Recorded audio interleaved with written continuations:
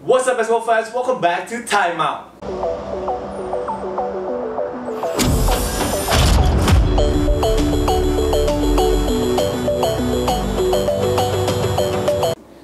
Ricky Padilla dan kemarin ini Perbasi baru saja merilis 54 nama pemain basket yang akan mengikuti seleksi bersama tim nasional basket Indonesia. Kalau gue lihat nih kayaknya plan untuk jangka panjang, mungkin plannya sampai uh, FIBA World Cup 2023 nanti. Dan bagi yang belum tahu, tim nasional basket Indonesia kita akan ditangani oleh seorang pelatih asing yaitu Coach Raiko Toroman. Orangnya berkelas banget dan juga nggak usah diragukan lagi prestasinya. Kebanyakan dari kita tahu dia dari saat dia memegang Smart Gilas satu tim nasional Filipina.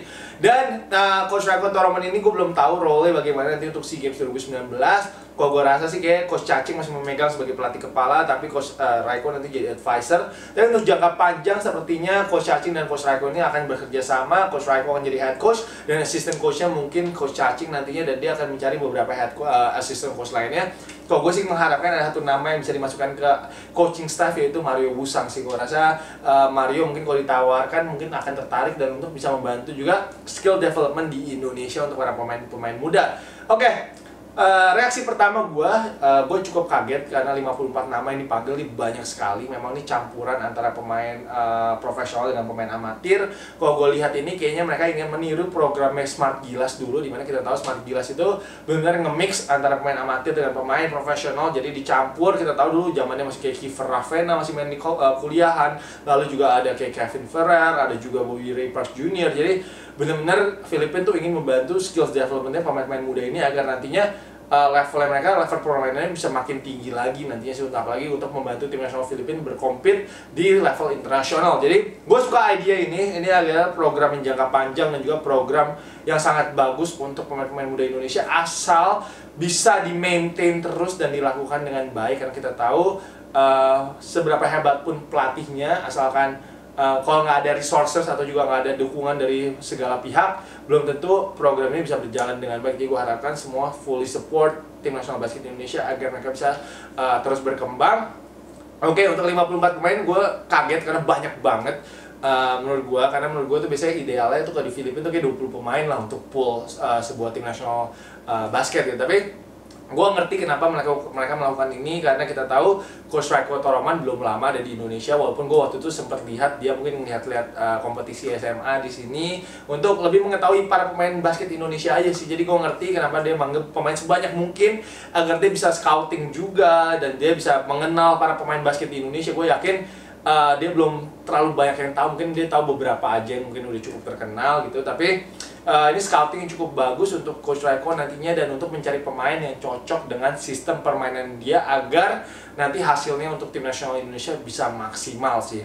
Itu kenapa gue ngerti uh, mereka memanggil 54 pemain. Tapi gue bingung juga adalah kenapa pemain yang ada di William Jones Cup ini nggak ada nama-namanya di 54 nama ini gitu. Apakah mereka otomatis masuk langsung nantinya? Jadi kalau misalkan 54 plus 12 yang ada sekarang itu 13 gitu kan uh, eh, gue masih belum tahu nanti ceritanya gimana kita tunggu aja yang pasti uh, eh, gue juga nggak lihat ada nama Derek Michael dan juga uh, Muhammad Arigi gitu gue harapkan dan juga Kelvin Sanjaya gue harapkan sih tiga pemain muda ini nanti masuk juga ke pool ya, karena tiga pemain muda ini uh, boleh dibilang pemain masa depan apalagi kalau gue lihat uh, Arigi main di uh, William Jones Cup ini cukup bagus ya menurut gue mentalnya berani banget. Dia gue liatin beberapa kali melakukan drive dan juga kalau kali lawan Kanada saat lawan University of British Columbia itu dia mencetak poin di saat-saat yang penting. Jadi benar Arigi bagus banget menurut gue di William Jones Cup. Lalu juga Kevin Sanjaya kemarin ini kalau waktu lawan Chinese Taipei sempat ngedang dua kali. So thank you banget untuk Coach Cacing sudah mempercayai dua pemain muda ini. Menurut gue sih uh, dengan dimainkan dua pemain muda ini di William Jones Cup benar-benar bisa membantu pengalaman mereka dan juga mengasah mentalnya mereka. Oke okay, itu untuk uh, beberapa pemain yang William Jones Cup karena menurut gue juga seperti nama Herdian Wicaksono Caleb Ramot, Mejoni, dan juga Widi. Ini empat pemain kalau gue lihat di William Jones Cup benar-benar cemerlang banget.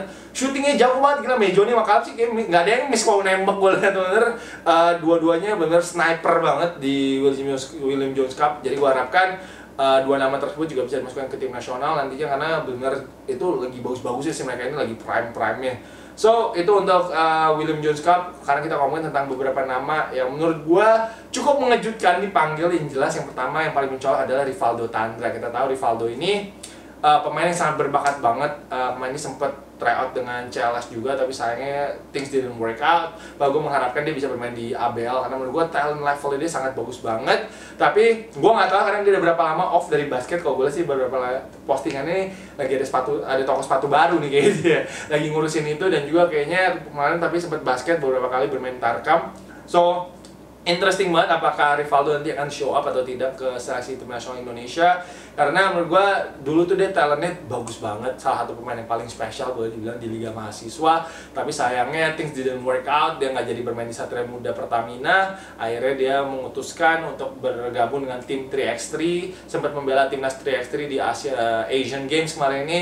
So gue mengharapkan sih Rivaldo bisa balik lagi ke basket karena kita tahu dia masih muda banget. Wah mungkin umurnya kan masih 24 kali ya. Jadi uh, masih talentnya masih bisa dibutuhkan oleh tim nasional Indonesia. Gue harapkan dia akan datang dan semoga aja in shape dan bisa ber, uh, berkompet untuk uh, salah satu spot di tim nasional Indonesia. Lalu nama kedua jelas ada Yuda Saputra. Menurut gue Yuda Saputra ini mungkin salah satu pemain terbaik saat ini di Liga Mahasiswa. Jadi gue seneng banget lihat Yuda. Gue udah ngikutin karirnya Yuda dari tahun lalu uh, saat dia bermain di Porda Cirebon ya kalau salah. Jadi itu benar uh, salah satu hal yang menarik untuk gue karena Yuda ini pemain yang berbakat banget. Walaupun size-nya nggak terlalu tinggi tapi pasti nyalinya gede banget dan juga mainnya agresif banget. Dan ini menurut gue juga salah satu pemain masa depan untuk basket Indonesia sih. So itu aja sih. Uh, beberapa nama yang menarik masih ada Abraham Wenas juga yang menurut gue juga pantas untuk dipanggil dan juga Daniel Wenas. Dan ada beberapa nama yang memang juga patut seperti Arki, Adi, Pras, Abraham Damar Grahita dan juga pemain lain yang gue gak bisa sebutkan karena banyak banget uh, itu listnya. Tapi uh, all the best untuk tim nasional basket Indonesia. Menurut gue ini bisa aja jadi awal mulanya basket semakin berkembang ke depannya. Karena menurut gue dengan hadirnya Coach Reko Toroman ini harus bisa dimanfaatkan banget di Indonesia. Ilmunya dia luar biasa banget. Jadi gue harapkan uh, para pemain pun uh, mau bekerja sama dengan dia walaupun orangnya keras banget sering marah-marahin orang teriak-teriak. Mirip lah kayak Coach Gibi lah tipe-tipenya. Jadi gue harapkan para pemain ini nggak uh, take it personal saat diomelkan diomelin sama coach Raiko lebih lebih apa ya kayak lebih uh, bisa menerima dan belajar dan bisa lebih baik lagi nanti. So kalau itu itu aja sih hari ini video gue jangan lupa untuk like, jangan lupa untuk komen menurut kalian mungkin ada pemain yang nggak masuk di pool ini juga yang kalian ingin lihat kalian bisa tulis di comment section di bawah dan jangan lupa juga untuk subscribe. Thank you guys for watching. I'll see you guys next video. Peace.